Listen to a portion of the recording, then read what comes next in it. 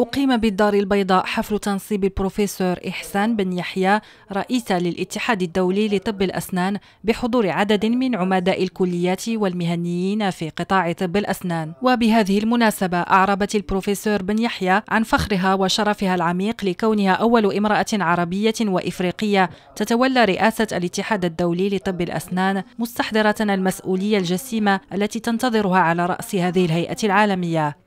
لي أنا افتخار كبير المغرب يكون كيحظى بهذا بهذا المنصب هذا لأنه الفيدرالية الدولية لطب الأسنان عندها 120 سنة أكثر من 120 سنة وفي التاريخ ديالها ما عمر ما كان أي رئيس من إفريقيا ولا من المغرب. اذا أكيد هذا شرف كبير المغرب هو اللي يكون الصوت الناطق في العالم لصحة الفم والأسنان.